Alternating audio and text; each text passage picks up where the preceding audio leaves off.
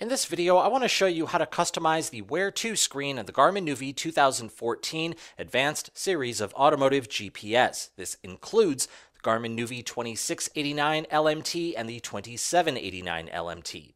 From our main menu, we will select Where To. Here we are on our Where To screen. Some things that we can do here are add in shortcuts. We can delete shortcuts and we can change the order in which these icons appear.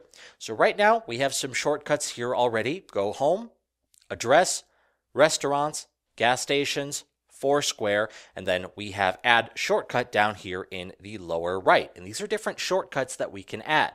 First option is a favorite search, like it says up top, pizza or Starbucks. You can create a custom search, add that to your Where To screen.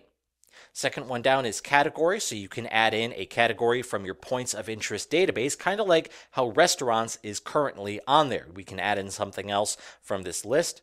You can add in a saved place shortcut, and then finally you can add in shortcuts for intersections, cities, or coordinates.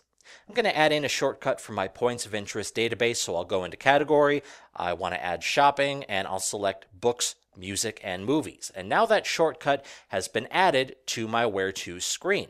When I select this, it's going to generate a list of these places that are closest to me. And the farther down I scroll, the farther away they are going to get.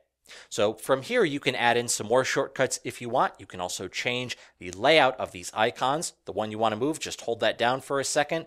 When you see the orange box disappear, you can just drag and drop and it's going to put it in a new location. And wherever you move it, it is going to affect the positioning of all of the other icons as well.